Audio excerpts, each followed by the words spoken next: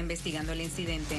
La escritora y directora María Agui Carter está en Atlanta para exhibir su cinta llamada Rebel, La Rebelde, en el Museo de Atlanta Psychorama y Guerra Civil mañana 26 de marzo a las 6 pm. El documental está basado en la vida de la cubana emigrante Loreta Velázquez y su rol en la Guerra Civil. No se pierda mañana la entrevista con la